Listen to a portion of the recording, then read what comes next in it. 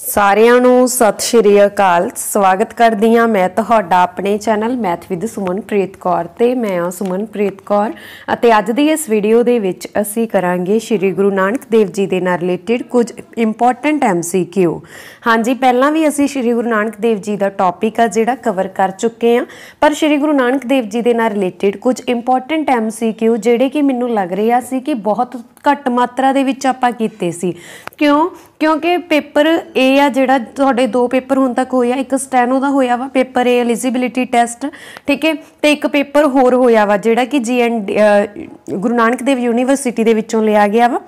ਤੇ ਇਸ ਦੇ ਲਈ ਮੈਂ ਤੁਹਾਨੂੰ ਇਹ ਦੱਸਣਾ ਚਾਹੁੰਦੀ ਆ ਕਿ ਜਿਹੜਾ ਪੇਪਰ ਏ ਆ, ਉਹ ਬਹੁਤ ਹੀ ਜ਼ਿਆਦਾ ਡੂੰਘਾਈ ਦੇ ਵਿੱਚੋਂ ਪੁੱਛਿਆ ਜਾ ਰਿਹਾ ਹੈ ਤਾਂ ਇਸ ਕਰਕੇ ਜਿੰਨੇ ਵੀ ਇੰਪੋਰਟੈਂਟ ਐਮਸੀਕਿਊ ਗੁਰੂ ਨਾਨਕ ਦੇਵ ਜੀ ਦੇ ਨਾਲ ਰਿਲੇਟਡ ਬਣ ਸਕਦੇ ਆ, ਉਹ ਆਪਾਂ ਇਸ ਵੀਡੀਓ ਦੇ ਵਿੱਚ ਡਿਸਕਸ ਕਰਾਂਗੇ।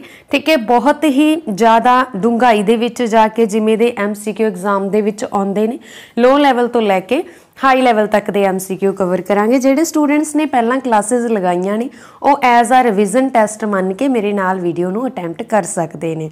ਤੇ ਦੂਸਰੀ ਗੱਲ ਮੇਨ ਗੱਲ ਇਹ ਆ ਕਿ ਇਹ ਇਹ ਜੋ ਟੌਪਿਕ ਆ ਸ਼੍ਰੀ ਗੁਰੂ ਨਾਨਕ ਦੇਵ ਜੀ ਪੇਪਰ A ਤੇ ਪੇਪਰ B ਦੋਹਾਂ ਦੇ ਲਈ ਹੀ ਬਹੁਤ ਇੰਪੋਰਟੈਂਟ ਟੌਪਿਕ ਆ। ਜਾਨੀ ਕਿ ਪੰਜਾਬੀ ਐਲੀਜੀਬਿਲਿਟੀ ਟੈਸਟ ਲਈ ਵੀ ਤੇ ਮੇਨ ਪੇਪਰ ਦੇ ਲਈ ਵੀ। ਇਸ ਕਰਕੇ ਇਸ ਵੀਡੀਓ ਨੂੰ ਭੁੱਲ ਕੇ ਵੀ ਨਾ ਛੱਡਣਾ। ਤੇ ਪੇਪਰ A ਤੁਹਾਡਾ ਪੇਪਰ B ਨਾਲੋਂ ਵੀ ਜ਼ਿਆਦਾ ਇੰਪੋਰਟੈਂਟ ਆ, ਕਿਉਂਕਿ ਜੇਕਰ ਇਸ ਦੇ ਵਿੱਚੋਂ 50% ਨੰਬਰ ਲਾਓਗੇ, ਫਿਰ ਹੀ ਤੁਸੀਂ ਪੇਪਰ B ਦੇ ਲਈ ਕੁਆਲੀਫਾਈ ਮੰਨੇ ਜਾਓਗੇ। ਠੀਕ ਹੈ? ਤਾਂ ਇਸ ਕਰਕੇ ਆਪਾਂ ਫਿਰ ਤੋਂ ਕਲਾਸਾਂ ਸਟਾਰਟ ਕੀਤੀਆਂ ਨੇ, ਤਾਂ ਜੋ ਤੁਹਾਨੂੰ ਪੂਰੀ ਡੂੰਘਾਈ ਦੇ ਨਾਲ ਤੁਹਾਡਾ ਜਿਹੜਾ ਚੈਪਟਰ ਆ, ਉਹ ਕਲੀਅਰ ਕਰਵਾ ਦਿੱਤਾ ਜਾਵੇ। ਕਿਉਂਕਿ ਬਹੁਤ ਹੀ ਜ਼ਿਆਦਾ ਟਫ ਲੈਵਲ ਦੇ ਐਮਸੀਕਿਊ ਲਏ ਜਾ ਰਹੇ ਨੇ ਪੇਪਰ ਦੇ ਵਿੱਚ, ਤੇ ਉਹ ਸਾਰੇ ਆਪਾਂ ਲੋ ਲੈਵਲ ਤੋਂ ਲੈ ਕੇ ਹਾਈ ਲੈਵਲ ਤੱਕ ਕਵਰ ਕਰਾਂਗੇ। ਤਾਂ ਜ਼ਿਆਦਾ ਦੇਰ ਨਾ ਕਰਦੇ ਹੋਏ ਆਪਾਂ ਸ਼ੁਰੂ ਕਰਦੇ ਹਾਂ ਵੀਡੀਓ ਨੂੰ। ਸਿੱਖ ਧਰਮ ਦਾ ਸੰਸਥਾਪਕ ਕੌਣ ਸੀ? ਤਾਂ ਤੁਹਾਨੂੰ ਦੇਖ ਕੇ ਹੀ ਪਤਾ ਲੱਗ ਗਿਆ ਹੋਣਾ ਐਮਸੀਕਿਊ ਨੂੰ ਕਿ ਸਿੱਖ ਧਰਮ ਦੇ ਸੰਸਥਾਪਕ ਕੌਣ ਸੀਗੇ? ਸ਼੍ਰੀ Guru Nanak Dev ji. Option number D is the right answer Shri Guru Nanak Dev ji Sikh ਧਰਮ ਦੇ ਸੰਸਥਾਪਕ ਸੀ ਤੇ ਇਹਨਾਂ ਦਾ ਜਨਮ 15 ਅਪ੍ਰੈਲ 1469 ਈਸਵੀ ਨੂੰ ਸ਼੍ਰੀ ਨਨਕਾਣਾ ਸਾਹਿਬ ਜਾਣੀ ਕਿ ਰਾਏਪੁਰ ਦੀ ਤਲਵੰਡੀ ਵਿਖੇ ਪਾਕਿਸਤਾਨ ਦੇ ਵਿੱਚ ਹੋਇਆ। ਜ਼ਿਲ੍ਹਾ ਕਿਹੜਾ ਲੱਗਦਾ ਸੀ? ਸੇਖੂਪੁਰਾ। ਠੀਕ ਹੈ? ਨੈਕਸਟ ਹੈ ਜੀ। ਮਿੱਟੀ ਧੁੰਦ ਜਗ ਚਾਨਣ ਹੋਇਆ। ਸਤਿਗੁਰੂ ਨਾਨਕ ਪ੍ਰਗਟਿਆ। ਇਹ ਸ਼ਬਦ ਕਿਸ ਨੇ ਫਰਮਾਏ? ਹਾਂਜੀ, ਇਹ ਸ਼ਬਦ ਫਰਮਾਏ ਸੀ ਭਾਈ ਗੁਰਦਾਸ ਜੀ ਨੇ। ਇਹ ਸ਼ਬਦ ਭਾਈ ਗੁਰਦਾਸ ਜੀ ਦੇ ਨੇ। ਉਹਨਾਂ ਨੇ ਕਿਹਾ ਸੀ ਕਿ ਮਿੱਟੀ ਧੁੰਦ ਜਗ ਚਾਨਣ ਹੋਇਆ ਕਿ ਆ ਗਿਆਨਤਾ ਦਾ ਜਿਹੜਾ ਹਨੇਰਾ ਵਾ, ਉਹ ਪਰੇ ਹੋ ਗਿਆ ਤੇ ਚਾਨਣ ਹੋ ਗਿਆ। ਮਤਲਬ ਗਿਆਨ ਦਾ ਚਾਨਣ ਹੋ ਗਿਆ। ਆ ਗਿਆਨਤਾ ਦੀ ਜਿਹੜੀ ਧੁੰਦ ਛਾਈ ਹੋਈ ਸੀ, ਉਹ ਪਰੇ ਹੋ ਗਈ ਆ ਤੇ ਜਦੋਂ ਸਤਿਗੁਰੂ ਨਾਨਕ ਪ੍ਰਗਟੀ ਸੀ। ਜਾਨੀ ਕਿ ਉਹਨਾਂ ਦਾ ਜਨਮ ਹੋਇਆ ਸੀ। ਤਾਂ ਇਹ ਭਾਈ ਗੁਰਦਾਸ ਜੀ ਦੇ ਸ਼ਬਦ ਨੇ।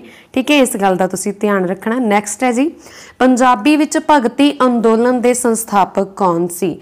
ਹਾਂਜੀ, ਸਿੱਖ ਧਰਮ ਦੇ ਸੰਸਥਾਪਕ, ਭਗਤੀ ਅੰਦੋਲਨ ਦੇ ਸੰਸਥਾਪਕ ਜਿਹੜੇ ਪੰਜਾਬ ਦੇ ਵਿੱਚ, ਪੰਜਾਬ ਦੇ ਵਿੱਚ ਭਗਤੀ ਅੰਦੋਲਨ ਦੇ ਸੰਸਥਾਪਕ ਸੀ ਸ੍ਰੀ Guru Nanak Dev ji. Option number A is the right answer next ਹੈ ਜੀ, ਸਿੱਖ ਧਰਮ ਦੇ ਮੋਢੀ ਕੌਣ ਸਨ? ਹਾਂਜੀ, ਸਿੱਖ ਧਰਮ ਦੇ ਮੋਢੀ ਕੌਣ ਸਨ? ਸਿੱਖ ਧਰਮ ਦੇ ਮੋਢੀ ਸਨ ਸ਼੍ਰੀ Guru Nanak Dev ji. Option number A is the right answer next ਹੈ ਜੀ। ਸ਼੍ਰੀ ਗੁਰੂ ਨਾਨਕ ਦੇਵ ਜੀ ਦਾ ਸਮਕਾਲੀ ਮੁਗਲ ਸ਼ਾਸਕ ਕੌਣ ਸੀ? ਹਾਂਜੀ, ਸ਼੍ਰੀ ਗੁਰੂ ਨਾਨਕ ਦੇਵ ਜੀ ਦੇ ਸਮਕਾਲੀ ਮੁਗਲ ਸ਼ਾਸਕ ਕੌਣ ਸੀਗੇ? Babur option number B is the right answer next ਹੈ ਜੀ। ਸ਼੍ਰੀ ਗੁਰੂ ਨਾਨਕ ਦੇਵ ਜੀ ਦੇ ਪਿਤਾ ਜੀ ਦਾ ਨਾਮ ਕੀ ਸੀ? ਹਾਂਜੀ, ਸ਼੍ਰੀ ਗੁਰੂ ਨਾਨਕ ਦੇਵ ਜੀ ਦੇ ਪਿਤਾ ਦਾ ਨਾਮ ਸੀ ਮਹਿਤਾ ਕਾਲੂ। ਇਹਨਾਂ ਦਾ ਪੂਰਾ ਨਾਮ ਸੀ ਸ਼੍ਰੀ ਮਹਿਤਾ ਕਲਿਆਣ ਦਾਸ ਤੇ ਇਹਨਾਂ ਦੀ ਮਾਤਾ ਦਾ ਨਾਮ ਸੀ Mata Tripta Devi ji. Option number A is the right answer Shri Mehta Kalu. ਤੁਹਾਨੂੰ ਇੱਥੇ ਆਪਸ਼ਨ ਲਿਖੀ ਦਿਖ ਰਹੀ ਆ, ਸ਼੍ਰੀ ਫੇਰੂ ਮੱਲ ਜੀ ਜਾਨੀ ਕਿ ਭਾਈ ਫੇਰੂਮਲ ਜੀ। ਇਹ ਸ਼੍ਰੀ ਗੁਰੂ ਅੰਗਦ ਦੇਵ ਜੀ ਦੇ ਪਿਤਾ ਜੀ ਸਨ, ਠੀਕ ਹੈ? ਨੈਕਸਟ ਹੈ ਜੀ, ਸ਼੍ਰੀ ਗੁਰੂ ਨਾਨਕ ਦੇਵ ਜੀ ਦੀਆਂ ਯਾਤਰਾਵਾਂ ਨੂੰ ਕੀ ਕਿਹਾ ਗਿਆ ਹੈ?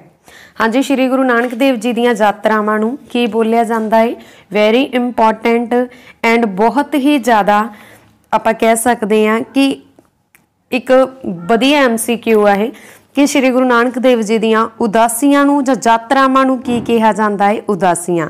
ਆਪਸ਼ਨ ਨੰਬਰ ਇੱਥੇ ਸੀ ਰਾਈਟ ਆਨਸਰ ਹੈ ਜੀ ਤੁਹਾਡੇ ਕੋਲ। ਠੀਕ ਹੈ ਸੀ ਆਪਸ਼ਨ ਨੈਕਸਟ ਹੈ, ਕਰਤਾਰਪੁਰ। ਜਾਨੀ ਕਿ ਪਾਕਿਸਤਾਨ, ਕਿਹੜੇ ਦਰਿਆ ਦੇ ਕੰਢੇ ਤੇ ਸਥਿਤ ਹੈ? ਇੱਕ ਕਰਤਾਰਪੁਰ, ਪਾਕਿਸਤਾਨ ਦੇ ਵਿੱਚ, ਠੀਕ ਹੈ? ਤੇ ਇਸ ਕਰਤਾਰਪੁਰ ਦੀ ਸਥਾਪਨਾ ਸ੍ਰੀ ਗੁਰੂ ਨਾਨਕ ਦੇਵ ਜੀ ਨੇ ਕੀਤੀ ਸੀ। ਇੱਕ ਕਰਤਾਰਪੁਰ ਆਪਣੇ ਇੱਧਰ ਜਲੰਧਰ ਵਾਲੀ ਸਾਈਡ ਆ, ਠੀਕ ਹੈ? ਇਹ ਕਰਤਾਰਪੁਰ ਦੀ ਸਥਾਪਨਾ ਸ੍ਰੀ ਗੁਰੂ ਅਰਜਨ ਦੇਵ ਜੀ ਨੇ ਕੀਤੀ ਸੀ। ਇਸ ਗੱਲ ਦਾ ਤੁਸੀਂ ਧਿਆਨ ਰੱਖਣਾ। ਨੈਕਸਟ ਹੈ ਜੀ, ਕਰਤਾਰਪੁਰ, ਪਾਕਿਸਤਾਨ ਜਾਣੀ ਕਿ ਕਿਹੜੇ ਦਰਿਆ ਦੇ ਕੰਢੇ ਤੇ ਸਥਿਤ ਹੈ? ਤਾਂ ਇਹ ਕਿਹੜੇ ਦਰਿਆ ਦੇ ਕੰਢੇ ਤੇ ਸਥਿਤ ਆ? ਰਾਵੀ ਤੇ। Option number D is the right answer Ravi ਅੱਧਾ ਪੰਜਾਬ ਵਿੱਚ ਆ, ਅੱਧਾ ਪਾਕਿਸਤਾਨ ਦੇ ਵਿੱਚ ਆ। ਨੈਕਸਟ ਹੈ, ਸਹੀ ਜੋੜ ਬਣਾਓ। ਹਾਂਜੀ, ਇੱਕ ਸਾਈਡ ਉਦਾਸੀ ਦਾ ਨਾਮ ਲਿਖਿਆ ਤੇ ਦੂਸਰੀ ਸਾਈਡ ਸਥਾਨ ਸਥਾਨ ਦਾ ਨਾਮ ਲਿਖਿਆ। ਆਪਾਂ ਤੁਹਾਨੂੰ ਦੱਸੀਏ, ਪਹਿਲੀ ਜਿਹੜੀ ਉਦਾਸੀ ਆ, ਇਹ ਪੂਰਵ ਦਿਸ਼ਾ ਦੇ ਵਿੱਚ ਹੋਈ ਸੀ। ਕਦੋਂ ਹੋਈ ਸੀ? ਸਨ 1900 ਸੌਰੀ ਸਨ 1497 ਤੋਂ 1508 ਈਸਵੀ ਤੱਕ ਉਦਾਸੀ ਕੀਤੀ ਸੀ। ਪਹਿਲੀ ਉਦਾਸੀ ਪੂਰਵ ਦਿਸ਼ਾ ਦੇ ਵਿੱਚ ਗੁਰੂ ਜੀ ਨੇ।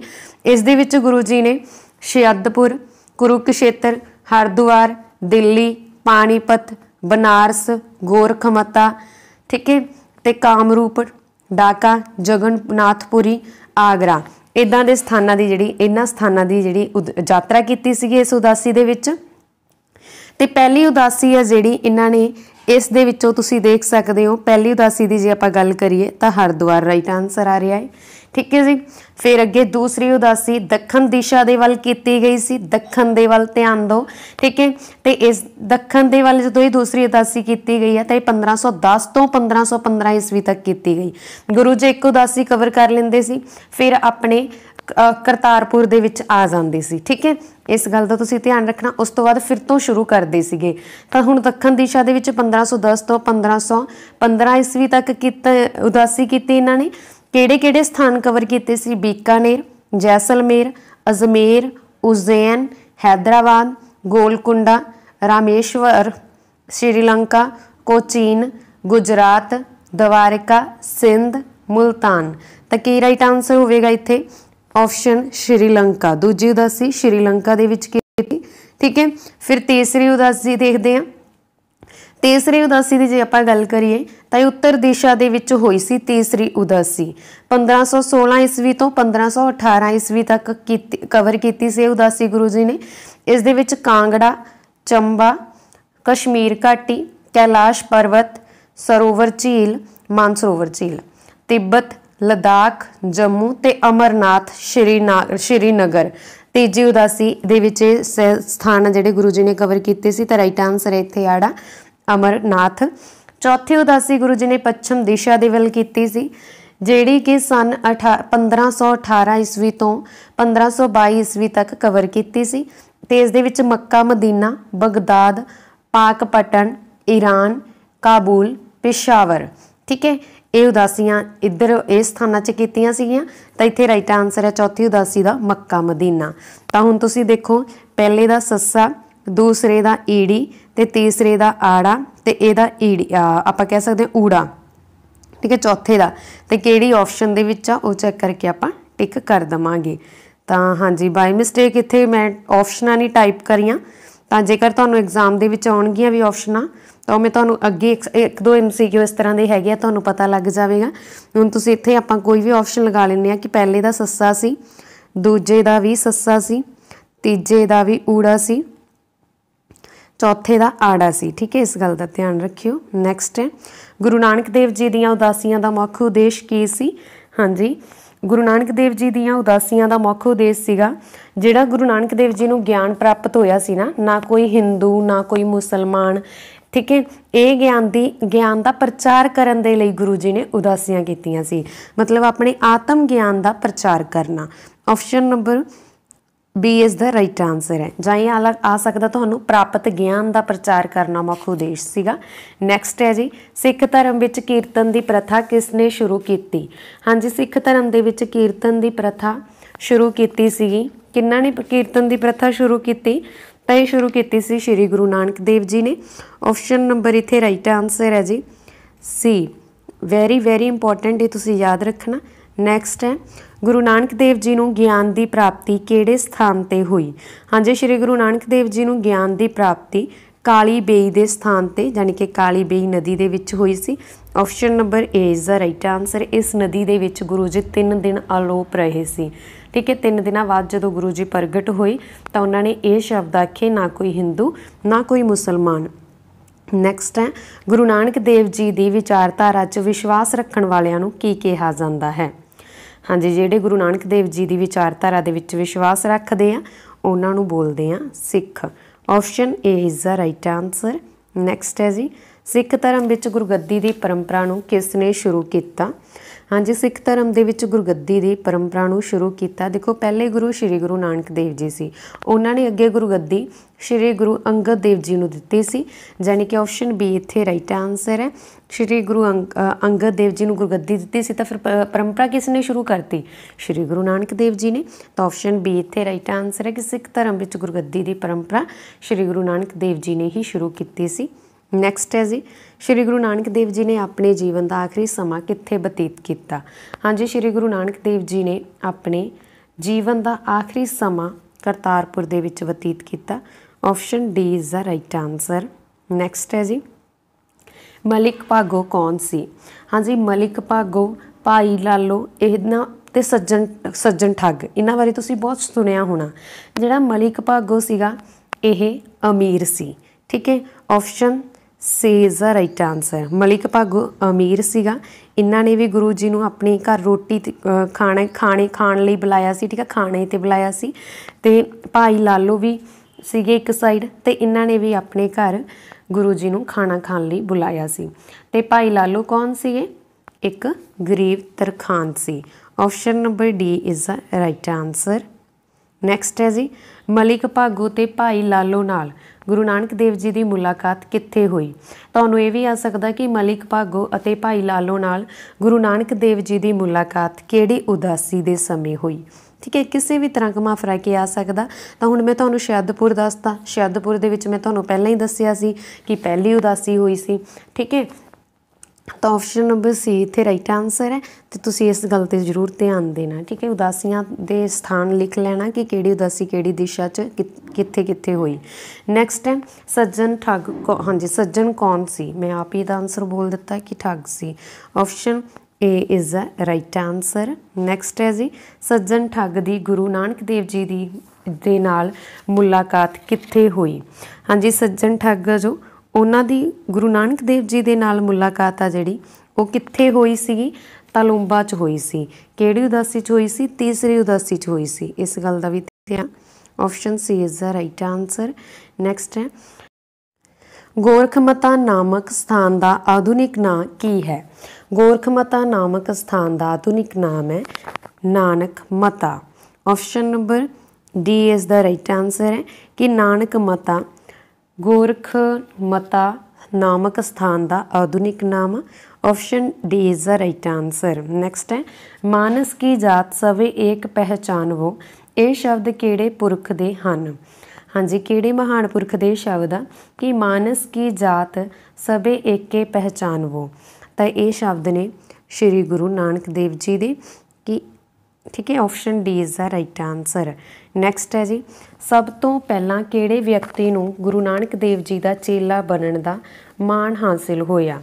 ਹਾਂਜੀ, ਇਹਨਾਂ ਦੇ ਵਿੱਚੋਂ ਸਭ ਤੋਂ ਪਹਿਲਾਂ ਉਹ ਕਿਹੜੇ ਵਿਅਕਤੀ ਆ ਜਿਨ੍ਹਾਂ ਨੂੰ ਗੁਰੂ ਨਾਨਕ ਦੇਵ ਜੀ ਦਾ ਚੇਲਾ ਬਣਨ ਦਾ ਮਾਣ ਹਾਸਲ ਹੋਇਆ? ਤਾਂ ਉਹ ਨੇਗੇ ਜੀ, Bhai Lalo. Option D is the right answer next ਹੈ ਜੀ। ਨੈਕਸਟ ਐਮਸੀਕਿਊ ਆ। ਗੁਰਦੁਆਰਾ ਨਾਮਕ ਸੰਸਥਾ ਦੀ ਸਥਾਪਨਾ ਕਿਸ ਨੇ ਕੀਤੀ ਸੀ?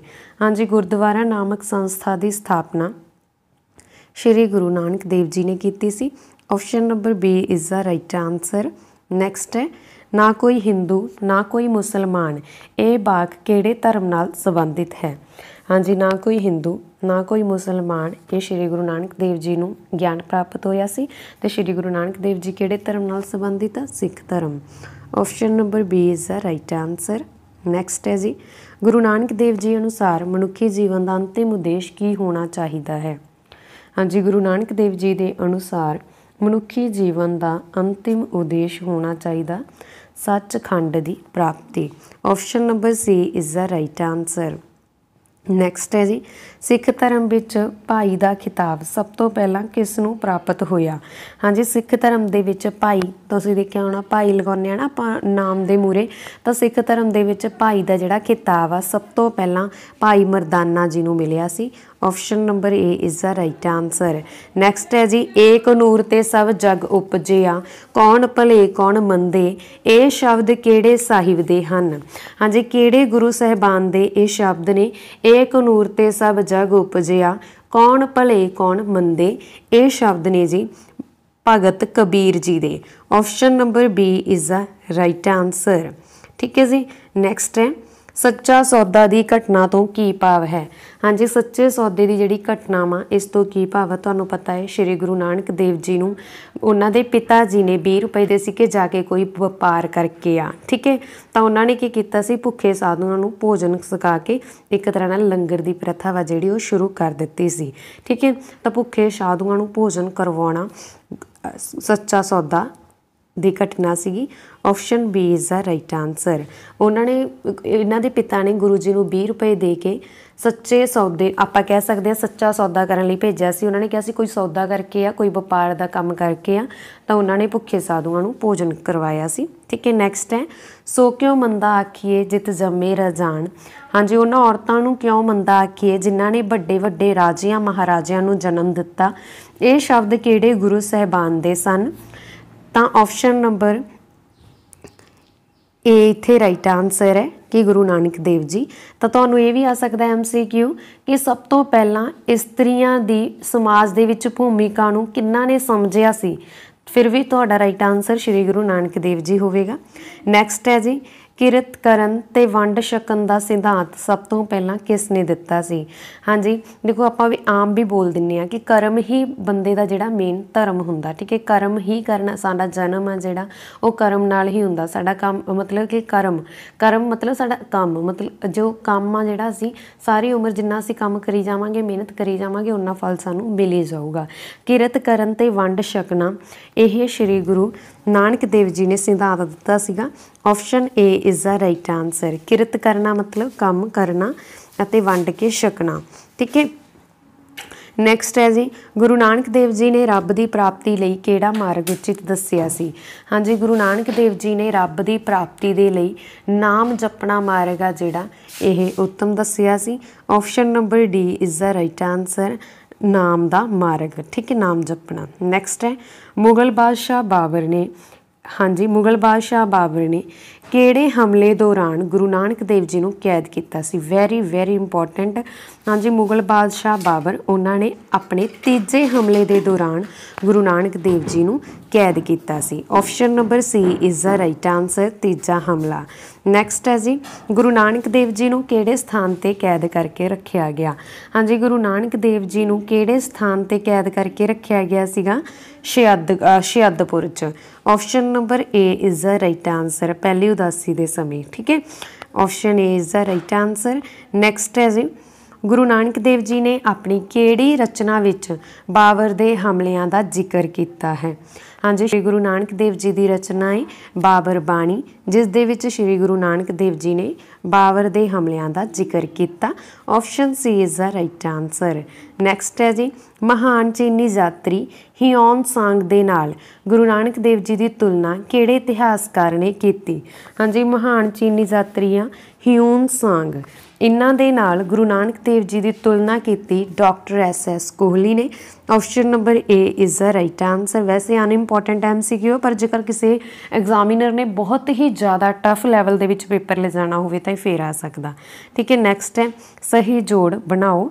ਤਾਂ ਇੱਕ ਧਰਮ ਦਾ ਨਾਮ ਲਿਖਿਆ, ਇੱਕ ਉਹਨਾਂ ਦੇ ਅੰਤਿਮ ਉਦੇਸ਼ ਲਿਖੇ ਆ। ਜਿਵੇਂ ਹਿੰਦ ਧਰਮ। ਹਿੰਦ ਧਰਮ ਦੇ ਵਿੱਚ ਆ ਜਿਹੜਾ ਅੰਤਿਮ ਉਦੇਸ਼ ਕੀ ਆ?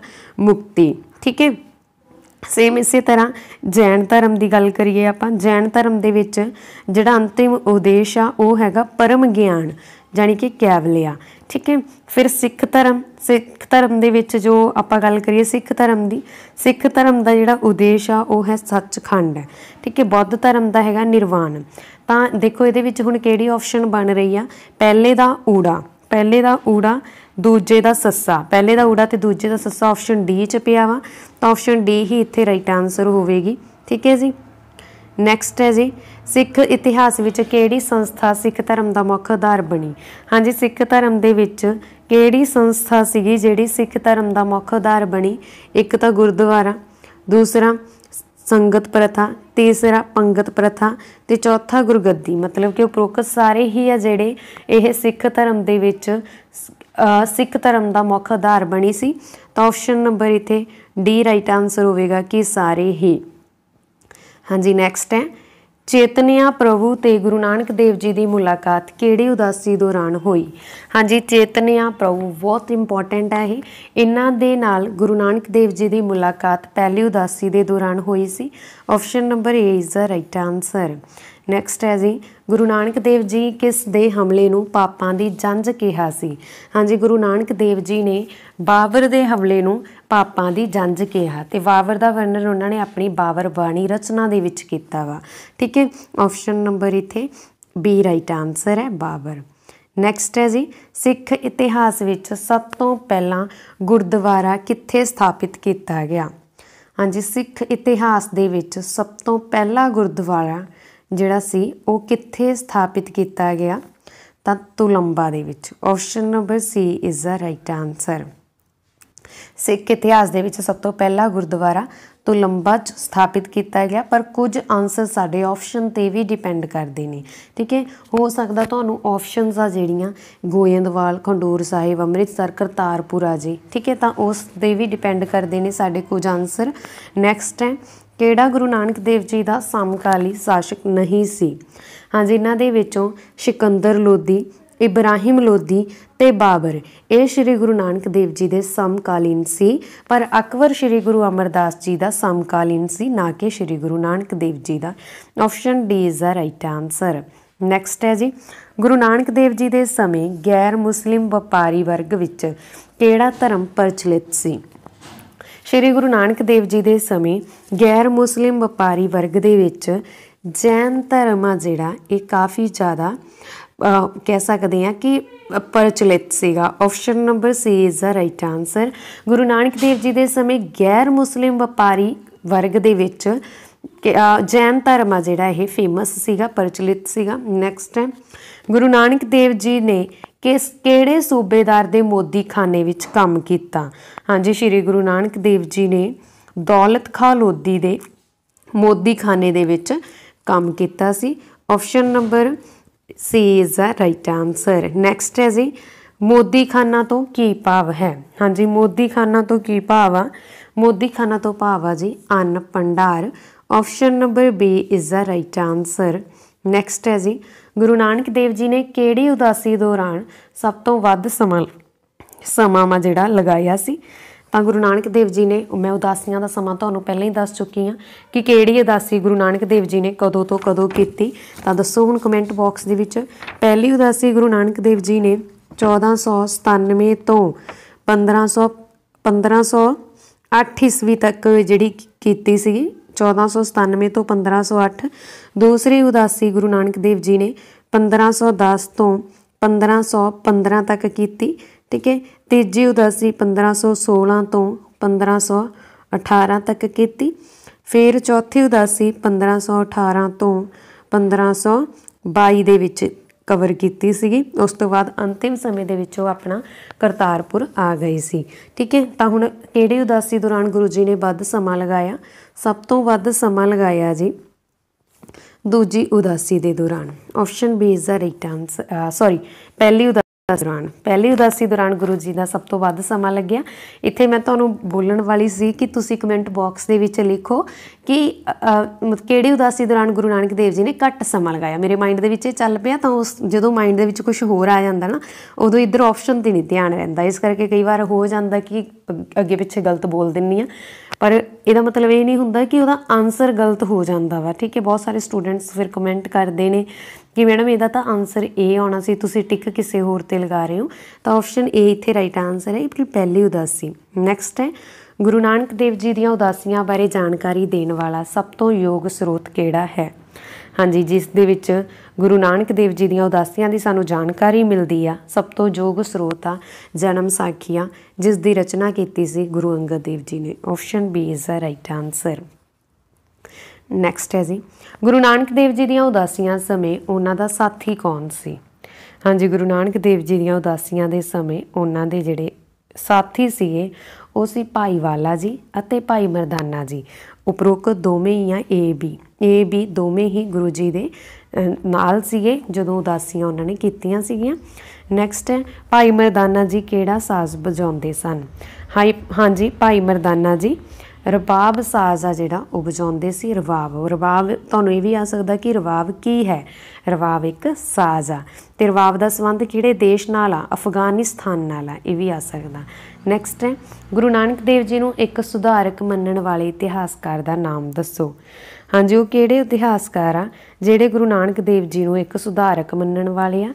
ਤਾਂ option number A is the right answer doctor Gokul Chand Narang ਇਹਨਾਂ ਨੇ ਗੁਰੂ ਨਾਨਕ ਦੇਵ ਜੀ ਨੂੰ ਇੱਕ ਸੁਧਾਰਕ ਮੰਨਿਆ ਯਾਨੀ ਕਿ ਇਹਨਾਂ ਨੇ ਬਹੁਤ ਜ਼ਿਆਦਾ ਸੁਧਾਰ ਕੀਤਾ ਸੀ ਠੀਕ ਹੈ ਇਸ ਕਰਕੇ ਮੰਨਿਆ ਨੈਕਸਟ ਹੈ ਚੇਤਨਿਆ ਪ੍ਰਭੂ ਤੇ ਗੁਰੂ ਨਾਨਕ ਦੇਵ ਜੀ ਦੀ ਮੁਲਾਕਾਤ ਕਿੱਥੇ ਹੋਈ ਹਾਂਜੀ ਚੇਤਨਿਆ ਪ੍ਰਭੂ ਤੇ ਗੁਰੂ ਨਾਨਕ ਦੇਵ ਜੀ ਦੀ ਮੁਲਾਕਾਤ ਪਹਿਲੀ ਉਦਾਸੀ ਦੇ ਦੌਰਾਨ ਹੋਈ ਸੀ ਤੇ ਇਹ ਜਿਹੜੀ ਮੁਲਾਕਾਤ ਹੋਈ ਸੀ ਜਗਨਨਾਥਪੁਰੀ ਦੇ ਵਿੱਚ ਹੋਈ ਸੀ option B is the right answer next ਹੈ ਗੁਰੂ ਨਾਨਕ ਦੇਵ ਜੀ ਦਾ ਜਨਮ ਕਿਹੜੀ ਸਦੀ ਵਿੱਚ ਹੋਇਆ?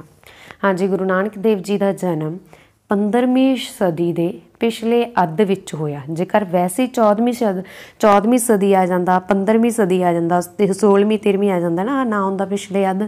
ਤੁਸੀਂ ਦੇਖੋ 1400 ਤੋਂ 1401 ਤੋਂ ਲੈ ਕੇ 1500 ਤੱਕ ਬਣਦੀ ਆ 15ਵੀਂ ਸਦੀ, ਠੀਕ ਹੈ? ਸੇਮ ਇਸੇ ਤਰ੍ਹਾਂ 1501 ਤੋਂ ਲੈ ਕੇ 1600 ਤੱਕ ਬਣਦੀ ਆ ਕਿਹੜੀ ਸਦੀ ਬਣੂਗੀ? 16ਵੀਂ ਸਦੀ। ਠੀਕ ਹੈ, ਇਸ ਗੱਲ ਦਾ ਧਿਆਨ ਰੱਖਣਾ। ਤਾਂ ਹੁਣ ਗੁਰੂ ਨਾਨਕ ਦੇਵ ਜੀ ਦਾ ਜਨਮ 15ਵੀਂ ਸਦੀ ਦੇ ਪਿਛਲੇ ਅੱਧ ਦੇ ਵਿੱਚ ਹੋਇਆ। ਨੈਕਸਟ ਹੈ। ਬਾਲਕ ਨਾਨਕ ਨੂੰ ਜਨੇਊ ਪਾਉਣ ਦੀ ਰਸਮ ਪੂਰੀ ਕਰਨ ਲਈ ਕਿਹੜਾ ਪੰਡਿਤ ਬੁਲਾਇਆ ਗਿਆ ਸੀ? ਬਹੁਤ ਇੰਪੋਰਟੈਂਟ ਐਮਸੀਕਿਊ ਹੈ ਇਹ। ਹਾਂਜੀ, ਬਾਲਕ ਨਾਨਕ ਨੂੰ ਜਨੇਊ ਪਾਉਣ ਦੀ ਰਸਮ ਦੇ ਲਈ ਪੰਡਿਤ ਹਰਿਦਿਆਲ ਜੀ ਆਏ ਸੀ। Option number B is the right answer next ਹੈ ਜੀ। ਗੁਰੂ ਨਾਨਕ ਦੇਵ ਜੀ ਦਾ ਸਮਕਾਲੀ ਕੌਣ ਨਹੀਂ ਸੀ? ਹਾਂਜੀ, ਗੁਰੂ ਨਾਨਕ ਦੇਵ ਜੀ ਦੇ ਸਮਕਾਲੀ ਸੀ ਚੇਤਨਿਆ ਮਹਾਪ੍ਰਭੂ, ਸੰਤ ਕਬੀਰ ਬੱਲਭਾਚਾਰੀਆ ਤੇ ਮਹਾਤਮਾ ਬੁੱਧ ਸ੍ਰੀ ਗੁਰੂ ਨਾਨਕ ਦੇਵ ਜੀ ਦੇ ਸਮਕਾਲੀਨ ਨਹੀਂ ਸੀ। Option D is the right answer next ਹੈ ਉਲਮਾ ਕੌਣ ਸੀ? ਹਾਂਜੀ, ਉਲਮਾ। ਉਲਮਾ ਕੌਣ ਸੀਗਾ? ਇਸਲਾਮ ਧਰਮ ਦਾ ਇੱਕ ਧਾਰਮਿਕ ਨੇਤਾ ਸੀ। Option number C is the right answer next ਹੈ ਗੁਰੂ ਨਾਨਕ ਦੇਵ ਜੀ ਨੇ ਆਪਣੀ ਕਿਹੜੀ ਰਚਨਾ ਵਿੱਚ ਈਸ਼ਵਰ ਦੀ ਮਹਿਮਾ ਦਾ ਜ਼ਿਕਰ ਕੀਤਾ? ਹਾਂਜੀ, ਈਸ਼ਵਰ ਦੀ ਮਹਿਮਾ ਦਾ, ਰੱਬ ਦੀ ਮਹਿਮਾ ਦਾ ਜ਼ਿਕਰ ਕੀਤਾ ਸ੍ਰੀ ਗੁਰੂ ਨਾਨਕ ਦੇਵ ਜੀ ਨੇ ਜਪਜੀ ਸਾਹਿਬ ਦੇ ਵਿੱਚ। Option number B is the right answer next ਹੈ ਜੀ, ਗੁਰੂ ਨਾਨਕ ਦੇਵ ਜੀ ਦੇ ਪਰਮਾਤਮਾ ਸੰਬੰਧੀ ਵਿਚਾਰ ਦਰਜ ਹਨ। ਹਾਂਜੀ, ਸ੍ਰੀ ਗੁਰੂ ਨਾਨਕ ਦੇਵ ਜੀ ਦੇ ਪਰਮਾਤਮਾ ਸੰਬੰਧੀ ਵਿਚਾਰ ਦਰਜ ਆ ਜਪਜੀ ਸਾਹਿਬ ਦੇ ਵਿੱਚ। Option number B is the right answer next ਹੈ ਨਦਰ ਸ਼ਬਦ ਦਾ ਸ਼ਬਦਿਕ ਅਰਥ ਕੀ ਹੈ? ਹਾਂਜੀ, ਨਦਰ। ਵੈਰੀ ਇੰਪੋਰਟੈਂਟ ਨਦਰ ਸ਼ਬਦ ਦਾ ਜਿਹੜਾ ਸ਼ਬਦਿਕ ਅਰਥ ਆ, ਇਸ ਦਾ ਮਤਲਬ ਆ ਰੱਬ ਦੀ ਕਿਰਪਾ। Option number B is the right answer next ਹੈ ਜੀ। ਹੁਕਮ ਸ਼ਬਦ ਦਾ ਸ਼ਾਬਦਿਕ ਅਰਥ ਕੀ ਹੈ? ਹਾਂਜੀ, ਹੁਕਮ। ਹੁਕਮ ਸ਼ਬਦ ਦਾ ਸ਼ਾਬਦਿਕ ਅਰਥ ਆ, ਰੱਬ ਦਾ ਆਦੇਸ਼। Option number A is the right answer next ਹੈ। ਮੱਕਾ ਤੇ ਮਦੀਨਾ ਦੀ ਯਾਤਰਾ ਗੁਰੂ ਨਾਨਕ ਦੇਵ ਜੀ ਨੇ ਕਿਹੜੀ ਉਦਾਸੀ ਦੇ ਦੌਰਾਨ ਕੀਤੀ? ਹਾਂਜੀ, ਆਪਾਂ ਉਦਾਸੀਆਂ ਬਾਰੇ ਗੱਲ ਕਰ ਚੁੱਕੇ ਹਾਂ। ਮੈਂ ਤੁਹਾਨੂੰ ਦੱਸ ਵੀ ਚੁੱਕੀ ਹਾਂ ਕਿ ਮੱਕਾ ਮਦੀਨਾ ਦੀ ਉਦਾਸ ਮੱਕਾ ਮਦੀਨਾ ਦੀ ਯਾਤਰਾ ਗੁਰੂ ਨਾਨਕ ਦੇਵ ਜੀ ਨੇ ਚੌਥੀ ਉਦਾਸੀ ਦੇ ਵਿੱਚ ਕੀਤੀ। ਇਸ ਤਰ੍ਹਾਂ ਦੇ ਐਮਸੀਕਿਊ ਨਾ ਆ ਜਾਣ, ਇਸ ਕਰਕੇ ਮੈਂ ਦੁਬਾਰਾ ਤੁਹਾਨੂੰ ਇਹ ਟੌਪਿਕ ਕਵਰ ਕਰਵਾਇਆ। ਗੁਰੂ ਨਾਨਕ ਦੇਵ ਜੀ, ਠੀਕ ਹੈ? ਕਿਉਂਕਿ ਪਹਿਲੀ, ਪਹਿਲੇ ਟੌਪਿਕ ਦੇ ਵਿੱਚ ਆਪਾਂ ਉਦਾਸੀਆਂ ਦੀ ਗੱਲ ਤਾਂ ਕੀਤੀ ਆ, ਪਰ ਸਥਾਨਾਂ ਦੀ ਗੱਲ ਨਹੀਂ ਕੀਤੀ ਸੀ। ਪਰ ਸਥਾਨ ਹੀ ਪੁੱਛੇ ਜਾ ਰਹੇ ਆ। ਇਸ ਕਰਕੇ ਮੈਂ ਇਹ ਟੌਪਿਕ ਦੁਬਾਰਾ ਕਰਵਾਉਣ ਲੱਗੀ ਆ। ਫਿਰ ਵੀ ਵਿੱਚੋਂ ਕੁਝ ਐਮਸੀਕਿਊ ਮਿਸਿੰਗ ਸੀ ਉਸ ਦੇ ਵਿੱਚੋਂ। ਮੈਨੂੰ ਲੱਗ ਰਿਹਾ ਸੀ ਕਿ ਮੈਂ ਬਹੁਤ ਘੱਟ ਕਰਵਾਏ ਆ, ਜੋ ਕਿ ਸਫੀਸ਼ੀਐਂਟ ਨਹੀਂ ਗਏ ਤੁਹਾਡੇ ਪੇਪਰ A ਤੇ B ਦੋਵਾਂ ਤੋਂ, ਠੀਕ ਹੈ? ਨੈਕਸਟ ਹੈ, ਰਵਾਬ ਕੀ ਹੈ? ਹਾਂਜੀ, ਰਵਾਬ ਕੀ ਹੈ? ਰਵਾਬ ਇੱਕ ਸੰਗੀਤ ਸਾਜ਼ ਆ option number D is the right answer next ਹੈ। ਅੰਜਨ ਮੇ ਨਿਰੰਜਨ ਰਹਿਓ ਦਾ ਸਿਧਾਂਤ ਕਿਸ ਨੇ ਦਿੱਤਾ? ਹਾਂਜੀ, ਅੰਜਨ ਮੇ ਨਿਰੰਜਨ ਰਹਿਓ ਦਾ ਸਿਧਾਂਤ ਗੁਰੂ ਨਾਨਕ ਦੇਵ ਜੀ ਨੇ ਦਿੱਤਾ। Option D is the right answer next ਹੈ ਜੀ।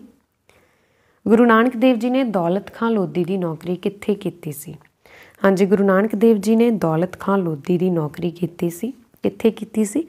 Sultanpur. Option number B is the right answer Sultanpur ਦੇ ਵਿੱਚ ਸ੍ਰੀ ਗੁਰੂ ਨਾਨਕ ਦੇਵ ਜੀ ਨੇ ਦੌਲਤ ਖਾਂ ਲੋਧੀ ਦੀ ਨੌਕਰੀ ਕੀਤੀ ਸੀ। ਠੀਕ ਹੈ? ਨੈਕਸਟ ਹੈ ਜੀ। ਏਕ ਓੰਕਾਰ ਸਤਨਾਮ ਕਰਤਾ ਪੁਰਖ ਨਿਰਭਉ, ਨਿਰਵੈਰ, ਅਕਾਲ ਮੂਰਤ, ਅਯੋਨੀ ਸੈਵਨ ਗੁਰ ਪ੍ਰਸਾਦ ਜਪ। ਇਹ ਸ਼ਬਦ ਕਿਹੜੇ ਗੁਰੂ ਸਾਹਿਬਾਨ ਦੇ ਹਨ? ਤਾਂ ਇਹ ਸ਼ਬਦ ਨੇ ਜੀ ਗੁਰੂ ਨਾਨਕ ਦੇਵ ਜੀ ਦੇ। Option A is the right answer next ਹੈ ਜੀ ਇੰਨਾ ਸ਼ਬਦਾਂ ਨੂੰ ਅਸੀਂ ਮੂਲ ਮੰਤਰ ਬੋਲਦੇ ਹਾਂ ਨਾ। ਪਤਾ ਨਾ ਤੁਹਾਨੂੰ ਇਹ ਵੀ ਸਾਰਾ? ਤੁਹਾਨੂੰ ਆ ਸਕਦਾ ਕਿ ਮੂਲ ਮੰਤਰ ਇਹਨਾਂ ਦੇ ਵਿੱਚੋਂ ਕਿਹੜਾ ਕਿਸ ਨੂੰ ਬੋਲਿਆ ਗਿਆ ਹੈ, ਫਿਰ ਵੀ ਤੁਸੀਂ ਧਿਆਨ ਰੱਖਣਾ। ਅੱਗੇ ਗੁਰੂ ਨਾਨਕ ਦੇਵ ਜੀ ਨੇ ਈਸ਼ਵਰ ਸੰਬੰਧੀ ਵਿਚਾਰਾਂ ਵਿੱਚ ਕਿਹੜਾ ਤੱਥ ਆ ਜਿਹੜਾ? ਉਹ ਟੁਕਮਾ ਆ ਟੁਕਮਾ। ਆ ਟੁਕਮਾ ਮਤਲਬ ਕਿ ਮਤਲਬ ਕਿ ਗੁਰੂ ਨਾਨਕ ਦੇਵ ਜੀ ਦਾ ਕਿਹੜਾ ਇਹਨਾਂ ਦੇ ਵਿੱਚੋਂ ਤੱਤ ਨਹੀਂਗਾ। ਠੀਕ ਹੈ ਈਸ਼ਵਰ ਸੰਬੰਧੀ। ਤਾਂ ਦੇਖਦੇ ਹਾਂ, ਰੱਬ ਨਿਰੰਕਾਰ ਸਰਵ ਵਿਆਪੀ ਤੇ ਸਰਵ ਸ਼ਕਤੀਮਾਨ ਆ। ਹਾਂਜੀ, ਬਿਲਕੁਲ। ਗੁਰੂ ਨਾਨਕ ਦੇਵ ਜੀ ਨੇ ਮੂਲ ਮਾਤਰ ਦੇ ਮੂਲ ਮੰਤਰ ਦੇ ਵਿੱਚ ਵੀ ਇਹੀ ਦੱਸਿਆ ਵਾ ਕਿ ਜਿਹੜਾ ਰੱਬ ਆ, ਉਹ ਕੀ ਆ? ਕੀ ਆ? ਸਰਵ ਵਿਆਪਕ ਆ, ਸਰਵ ਸ਼ਕਤੀਮਾਨ ਆ ਤੇ ਨਿਰੰਕਾਰ ਆ। ਆਪਾਂ ਪੜਿਆ ਨਹੀਂਗਾ ਨਾ? ਨਿਰਭਉ, ਨਿਰਵੈਰ, ਅਕਾਲ ਮੂਰਤ, ਯੋਨੀ ਸੈਭਨ ਗੁਰ ਪ੍ਰਸਾਦ ਜਪ। ਇਹ ਸਾਰਾ ਸਾਨੂੰ ਜਪਜੀ ਸਾਹਿਬ ਦੇ ਵਿੱਚ ਮਿਲਦਾ ਵਾ ਦੇਖਣ ਨੂੰ। ਤਾਂ ਆਪਸ਼ਨ ਏ ਆ ਜਿਹੜੀ, ਇਹ ਠੀਕ ਆ। ਉਹਨਾਂ ਨੇ ਆ ਟੁਕਮਾ ਪੁੱਛਿਆ, ਮਤਲਬ ਗਲਤ ਪੁੱਛਿਆ। ਹਾਂਜੀ, ਫਿਰ ਰੱਬ ਦਾ ਕਿਸੇ ਨਾਲ ਵੈਰ ਨਹੀਂ, ਨਿਰਵੈਰ। ਉਸ ਦਾ ਕਿਸੇ ਨਾਲ ਵੈਰ ਨਹੀਂਗਾ ਤਾਂ ਆਪਸ਼ਨ ਬੀ ਵੀ ਠੀਕ ਆ। ਉਸ ਨੇ ਮਤਲਬ ਠੀਕ ਆ ਟੁਕਮਾਵਾ ਉਸ ਨੇ ਹੀ ਸ੍ਰਿਸ਼ਟੀ ਦੀ ਰਚਨਾ ਕੀਤੀ ਆ, ਮਤਲਬ ਉਸ ਨੇ ਹੀ ਸਾਰੀ ਸ੍ਰਿਸ਼ਟੀ ਨੂੰ ਬਣਾਇਆ ਵਾ। ਠੀਕ ਹੈ? ਤਾਂ ਇਹ ਵੀ ਗੁਰੂ ਨਾਨਕ ਦੇਵ ਜੀ ਦਾ ਹੀ ਸਿਧਾਂਤ ਆ। ਪਰ ਰੱਬ ਨਾਸ਼ਵਾਨ ਹੈ, ਉਹਨਾਂ ਨੇ ਕਦੇ ਵੀ ਰੱਬ ਦੀ ਨਿੰਦਿਆ ਨਹੀਂ ਕੀਤੀ ਗੁਰੂ ਜੀ ਨੇ। ਤਾਂ ਆਪਸ਼ਨ ਡੀ ਇੱਥੇ ਰਾਈਟ ਆਨਸਰ ਹੈ ਕਿ ਇਹ ਸ਼ਬਦ ਆ ਜਿਹੜਾ ਆ ਟੁਕਮਾ ਲਿਖਿਆ ਗਿਆ ਹੈ। ਨੈਕਸਟ ਹੈ, ਗੁਰੂ ਨਾਨਕ ਦੇਵ ਜੀ ਦੇ ਜਨਮ ਸਥਾਨ ਦਾ ਯੋਕਾ ਨਾਂ ਕੀ ਹੈ? ਹਾਂਜੀ, ਗੁਰੂ ਨਾਨਕ ਦੇਵ ਜੀ ਦੇ ਜਨਮ ਸਥਾਨ ਦਾ ਯੋਕਾ ਨਾਮ, ਜਿਵੇਂ ਕਿ ਮੈਂ ਤੁਹਾਨੂੰ ਦੱਸਿਆ, ਗੁਰੂ ਨਾਨਕ ਦੇਵ ਜੀ ਦਾ ਜਨਮ ਕਿੱਥੇ ਹੋਇਆ ਸੀ? ਰਾਏ ਭੋਏ ਦੀ ਤਲਵੰਡੀ, ਜੋ ਕਿ ਅੱਜ ਕੱਲ ਜਿਸ ਨੂੰ ਨਨਕਾਣਾ ਸਾਹਿਬ ਦੇ ਨਾਮ ਨਾਲ ਜਾਣਿਆ ਜਾਂਦਾ ਹੈ। ਆਪਸ਼ਨ ਇੱਥੇ ਸੀ ਰਾਈਟ ਆਨਸਰ ਹੈ ਕਿ ਨਨਕਾਣਾ ਸਾਹਿਬ। ਨਨਕਾਣਾ ਸਾਹਿਬ ਪਾਕਿਸਤਾਨ ਦੇ ਵਿੱਚ ਆ ਜੋ ਗੁਰੂ ਨਾਨਕ ਦੇਵ ਜੀ ਦਾ ਜਨਮ ਸਥਾਨ ਦਾ ਯੋਕਾ ਨਾਮ ਆ। ਨੈਕਸਟ ਹੈ ਜੀ ਗੁਰੂ ਨਾਨਕ ਦੇਵ ਜੀ ਦੇ ਪਿਤਾ ਜੀ ਕੀ ਕੰਮ ਕਰਦੇ ਸਨ? ਹਾਂਜੀ, ਬਹੁਤ ਜ਼ਿਆਦਾ ਇੰਪੋਰਟੈਂਟ ਐਮਸੀਕਿਊ ਹੈ ਗੁਰੂ ਨਾਨਕ ਦੇਵ ਜੀ ਦੇ ਪਿਤਾ ਜੀ ਇੱਕ ਪਟਵਾਰੀ ਸੀ। Option number C is the right answer next ਹੈ ਜੀ, ਗੋਰਖਮਤਾ ਕਿਹੜੇ ਪ੍ਰਦੇਸ਼ ਵਿੱਚ ਸਥਿਤ ਹੈ? ਯਾਨੀ ਕਿ ਕਿਹੜੇ ਰਾਜ ਵਿੱਚ ਸਥਿਤ ਆ? ਪ੍ਰਦੇਸ਼ ਨੂੰ ਆਪਾਂ ਰਾਜ ਬੋਲ ਦਿੰਨੇ ਆ, ਠੀਕ ਹੈ? ਗੋਰਖਮਤਾ ਕਿਹੜੇ ਨਾਮ, ਕਿਹੜੇ ਪ੍ਰਦੇਸ਼ ਦੇ ਵਿੱਚ ਪੈਂਦਾ ਵਾ? ਇਹ ਉੱਤਰ ਪ੍ਰਦੇਸ਼ 'ਚ ਪੈਂਦਾ। Option C is the right answer next ਹੈ ਜੀ ਗੁਰੂ ਨਾਨਕ ਦੇਵ ਜੀ ਦਾ ਰਬਾਬੀ ਸੀ। ਹਾਂਜੀ, ਗੁਰੂ ਨਾਨਕ ਦੇਵ ਜੀ ਦੇ ਰਬਾਬੀ ਕੌਣ ਸੀ? Bhai Mardana ji. Option number A is the right answer next ਹੈ ਜੀ। ਸੰਗਤ ਤੇ ਪੰਗਤ ਨਾਮਕ ਸੰਸਥਾਵਾਂ ਦੀ ਸਥਾਪਨਾ ਕਿੱਥੇ ਕੀਤੀ ਗਈ? ਹਾਂਜੀ, ਸੰਗਤ ਤੇ ਪੰਗਤ ਨਾਮਕ ਸੰਸਥਾਵਾਂ ਦੀ ਸਥਾਪਨਾ ਕਰਤਾਰਪੁਰ ਦੇ ਵਿੱਚ ਕੀਤੀ ਗਈ ਸੀ। Option number B is the right answer next ਹੈ ਜੀ। ਗੁਰੂ ਨਾਨਕ ਦੇਵ ਜੀ ਦੀ ਸਮਕਾਲੀ, ਨੂਰ ਸਾਹੀ ਕੌਣ ਸੀ? ਹਾਂਜੀ ਨੂਰ ਸਾਹੀ ਜਿਹੜੀ ਕਿ ਗੁਰੂ ਨਾਨਕ ਦੇਵ ਜੀ ਦੇ ਸਮਕਾਲੀਨ ਸੀ ਤੇ ਇਹ ਕੌਣ ਸੀਗੀ? ਇੱਕ ਜਾਦੂਗਰਨੀ ਸੀ, ਕਾਮਰੂਪ ਦੀ ਜਾਦੂਗਰਨੀ। Option C is D C is the right answer ਹੈ। ਨੈਕਸਟ ਹੈ ਜੀ, ਸਹੀ ਜੋੜ ਬਣਾਓ। ਇੱਕ ਸਾਈਡ ਅਧਿਆਪਕ ਦਾ ਨਾਮ ਲਿਖਿਆ, ਦੂਸਰੀ ਸਾਈਡ ਸਿੱਖਿਆ ਲਿਖੀ ਆ। ਠੀਕ ਹੈ ਪੰਡਿਤ ਗੋਪਾਲ, ਇਹ ਸੀਗੇ ਪੰਡਿਤ ਗੋਪਾਲ ਗਣਿਤ ਤੇ ਹਿੰਦੀ ਦੇ ਅਧਿਆਪਕ, ਠੀਕ ਹੈ? ਤੇ ਮੌਲਵੀ ਕੁਤਬਦੀਨ ਇਹ ਫਾਰਸੀ ਤੇ ਅਰਬੀ, ਠੀਕ ਹੈ? ਅਰਬੀ। ਤੇ ਪੰਡਿਤ ਬਿਰਜ਼ਨਾਥ, ਇਹ ਕਿਹਦੇ ਅਧਿਆਪਕ ਸੀ? ਸੰਸਕ੍ਰਿਤ ਦੇ। ਤਾਂ ਆਪਸ਼ਨ ਓੜਾ ਹੀ ਇੱਥੇ ਸੌਰੀ ਓੜਾ ਨਹੀਂਗਾ ਆਪਸ਼ਨ ਓੜਾ ਨਹੀਂਗਾ ਆਪਸ਼ਨ ਇੱਥੇ ਰਾਈਟ ਆਨਸਰ ਬਣੇਗਾ ਜੀ। ਪਹਿਲੇ ਦਾ ਪਹਿਲੇ ਦਾ ਆੜਾ। ਠੀਕ ਹੈ? ਬਾਈ ਮਿਸਟੇਕ ਇਹ ਆਪਸ਼ਨ ਵੀ ਗਲਤ ਹੋ ਗਈ ਟਾਈਪ ਤਾਂ ਪਹਿਲੇ ਦਾ ਜੋ ਤੁਹਾਡੇ ਕੋਲੇ ਬਣੇਗਾ ਆੜਾ ਦੂਸਰੇ ਦਾ ਊੜਾ ਠੀਕ ਹੈ ਆਪਸ਼ਨ ਬੀ ਬਣ ਰਹੀ ਹੈ, ਤੀਸਰੇ ਦਾ ਈਡੀ ਤਾਂ ਇਹ ਦੇਖ ਲਓ ਕਿਸੇ ਹੋਰ ਆਪਸ਼ਨ ਦੇ ਵਿੱਚ ਤਾਂ ਨਹੀਂਗਾ, ਫਿਰ ਆਪਸ਼ਨ ਬੀ ਹੀ ਸੀ ਮੇਰੇ ਕੋਲ। ਨੈਕਸਟ ਹੈ ਜੀ, ਗੁਰੂ ਨਾਨਕ ਦੇਵ ਜੀ ਦੇ ਜਨਮ ਸਮੇਂ ਮੁਸਲਿਮ ਸਮਾਜ ਕਿੰਨੀਆਂ ਸ਼੍ਰੇਣੀਆਂ ਵਿੱਚ ਵੰਡਿਆ ਹੋਇਆ ਸੀ? ਹਾਂਜੀ, ਜਦੋਂ ਗੁਰੂ ਨਾਨਕ ਦੇਵ ਜੀ ਦਾ ਜਨਮ ਹੋਇਆ, ਤਾਂ ਉਹਨਾਂ ਦੇ ਜਨਮ ਸਮੇਂ ਮੁਸਲਿਮ ਸਮਾਜ ਦੀਆਂ ਜਿਹੜੀਆਂ ਸ਼੍ਰੇਣੀਆਂ ਸੀਗੀਆਂ, ਉਹ ਸੀਗੀਆਂ ਤਿੰਨ। ਕਿਹੜੀਆਂ ਕਿਹੜੀਆਂ ਸੀ ਇਹ? ਤੁਸੀਂ ਕਮੈਂਟ ਬਾਕਸ ਦੇ ਵਿੱਚ ਲਿਖੋਗੇ। ਨੈਕਸਟ ਹੈ, ਜਨੇਊ ਦੀ ਰਸਮ ਸਮਾਜ ਵਿੱਚ ਕਦੋਂ ਨਿਭਾਈ ਜਾਂਦੀ ਹੈ? ਹਾਂਜੀ ਜਨੇਊ ਦੀ ਰਸਮ ਸਮਾਜ ਦੇ ਵਿੱਚ ਬਚਪਨ ਸਮੇਂ ਨਿਭਾਈ ਜਾਂਦੀ ਹੈ। Option D is the right answer next ਹੈ ਜਨੇਊ ਕੀ ਹੈ? ਹਾਂਜੀ ਜਨੇਊ ਇੱਕ ਸੂਤੀ ਧਾਗਾ ਹੈ। Option A is the right answer next ਹੈ ਜੀ, ਪੰਜਾ ਸਾਹਿਬ ਕਿਸ ਸਥਾਨ ਦਾ ਨਾਂ ਰੱਖਿਆ ਗਿਆ? ਹਾਂਜੀ, ਪੰਜਾ ਸਾਹਿਬ। ਪੰਜਾ ਸਾਹਿਬ ਕਿਸ ਸਥਾਨ ਦਾ ਨਾਂ ਰੱਖਿਆ ਗਿਆ ਸੀ? ਹਸਨ ਅਬਦਾਲ ਦਾ। Option number C is the right answer ਤੁਹਾਨੂੰ ਪੁੱਛਿਆ ਜਾ ਸਕਦਾ ਕਿ ਪੰਜਾ ਸਾਹਿਬ ਦਾ ਪੁਰਾਣਾ ਨਾਮ ਕੀ ਸੀ? ਹਸਨ ਅਬਦਾਲ। ਨੈਕਸਟ ਹੈ, ਅੰਜਨ ਮੇ ਨਿਰੰਜਨ ਤੋਂ ਕੀ ਭਾਵ ਹੈ? ਹਾਂਜੀ, ਅੰਜਨ ਮੇ ਨਿਰੰਜਨ ਆਪਾਂ ਪਿੱਛੇ ਕਰਕੇ ਗਏ ਆ ਅੰਜਨ ਮੇ ਨਿਰੰਜਨ, ਇਹ ਆਪਾਂ ਨੂੰ ਆਪਾਂ ਪਿੱਛੇ ਐਮਸੀਕਿਊ ਕੀਤਾ ਕਿ ਅੰਜਨ ਮੇ ਨਿਰੰਜਨ ਦਾ ਸਿਧਾਂਤ ਕਿੰਨਾ ਨੇ ਦਿੱਤਾ? ਗੁਰੂ ਨਾਨਕ ਦੇਵ ਜੀ ਨੂੰ। ਗੁਰੂ ਨਾਨਕ ਦੇਵ ਜੀ ਨੇ ਦਿੱਤਾ ਸੀਗਾ। ਤੇ ਇਸ ਸਿਧਾਂਤ ਦਾ ਮਤਲਬ ਕੀ ਹੈ ਕਿ ਸੰਸਾਰਿਕ ਬੁਰਾਈਆਂ ਵਿੱਚ ਰਹਿੰਦੇ ਹੋਏ ਸਾਦਾ ਜੀਵਨ ਬਤੀਤ ਕਰਨਾ। Option B is the right answer next ਹੈ, ਗੁਰੂ ਨਾਨਕ ਦੇਵ ਜੀ ਦੇ ਸਮੇਂ ਪੰਜਾਬ ਕਿਸ ਨਾਮ ਨਾਲ ਜਾਣਿਆ ਜਾਂਦਾ ਸੀ? ਹਾਂਜੀ, ਗੁਰੂ ਨਾਨਕ ਦੇਵ ਜੀ ਦੇ ਸਮੇਂ ਜੋ ਪੰਜਾਬ ਸੀਗਾ, ਉਹ ਕਿਹੜੇ ਨਾਮ ਨਾਲ ਜਾਣਿਆ ਜਾਂਦਾ ਸੀਗਾ? ਤਾਂ ਲਾਹੌਰ। ਲਾਹੌਰ ਨਾਮ ਆ, ਤੁਹਾਨੂੰ ਪਤਾ ਲਾਹੌਰ ਪ੍ਰਾਂਤ ਦਾ ਨਾਮ ਆ ਜਿਹੜਾ, ਉਹ ਕਿੰਨਾ ਨੇ ਦਿੱਤਾ ਸੀਗਾ? ਲਾਹੌਰ ਪ੍ਰਾਂਤ ਦਾ ਨਾਮ ਮਹਾਰਾਜਾ ਰਣਜੀਤ ਸਿੰਘ ਜੀ ਦੇ ਸਮੇਂ। ਪੰਚ ਨੰਦ ਦਾ ਨਾਮ ਆ ਜਿਹੜਾ ਰਮਾਇਣ ਅਤੇ ਮਹਾਭਾਰਤ ਦੇ ਵਿੱਚ ਦਿੱਤਾ ਗਿਆ। ਠੀਕ ਹੈ, ਤਾਂ ਇਹਨਾਂ ਵਿੱਚੋਂ ਕੋਈ ਵੀ ਨਹੀਂਗਾ ਇਹਨਾਂ ਵਿੱਚੋਂ ਕੋਈ ਵੀ ਨਹੀਂ ਸ੍ਰੀ ਗੁਰੂ ਨਾਨਕ ਦੇਵ ਜੀ ਦੇ ਸਮੇਂ, ਜਿਹੜੇ ਨਾਮ ਨਾਲ ਪੰਜਾਬ ਨੂੰ ਜਾਣਿਆ ਜਾਂਦਾ ਹੈ। ਕਿਉਂਕਿ ਉਸ ਸਮੇਂ ਪੰਜਾਬ ਦਾ ਨਾਮ ਹੋ ਸਕਦਾ ਸੰਪਤ ਸਿੱਧੂ ਹੋਵੇ, ਕਿਉਂਕਿ ਸੰਪਤ ਸਿੱਧੂ ਹੀ ਸੱਤ ਨਦੀਆਂ ਵਹਿੰਦੀਆਂ ਸੀ, ਨਾ ਤਾਂ ਪੰਜਾਬ ਦੀ ਕੋਈ ਵੰਡ ਹੋਈ ਹੋਈ ਸੀ। ਤਾਂ ਸਭ ਤੋਂ ਮੇਨ ਅਰਥ ਹੈ ਕਿ ਜੋ ਪੰਜਾਬ ਦਾ ਨਾਮ ਸੀ ਉਸ ਸਮੇਂ ਉਹ ਸੰਪਤ ਸਿੱਧੂ ਹੀ ਹੋਵੇਗਾ। ਠੀਕ ਹੈ, ਜਿਹਨੂੰ ਅਸੀਂ ਰਿਗਵੇਦ ਦੇ ਵਿੱਚ ਵੀ ਪੜ੍ਹਦੇ ਹਾਂ, ਤੇ ਇਹੀ ਮੇਨ ਇੰਪੋਰਟੈਂਟ ਆ ਕਿ ਸੰਪਤ ਸਿੱਧੂ ਤੇ ਯੂਨਾਨੀਆਂ ਨੇ ਵੀ ਦਿੱਤਾ ਸੀਗਾ, ਪੈਂਟਾਪੋਟਾਮੀਆ, ਠੀਕ ਹੈ। ਕੁਝ ਆਨਸਰ ਮੈਂ ਤੁਹਾਨੂੰ ਅੱਗੇ ਵੀ ਦੱਸਿਆ ਆਪਸ਼ਨ ਤੇ ਡਿਪੈਂਡ ਕਰਦੇ ਨੇ, ਤਾਂ ਆਪਸ਼ਨ ਡੀ ਇੱਥੇ ਰਾਈਟ ਆਨਸਰ ਹੈ। ਪੰਜ ਨੰਦ ਦਾ ਨੈਕਸਟ ਹੈ ਜੀ ਆਪਾਂ ਗੱਲ ਕਰਦੇ ਹਾਂ।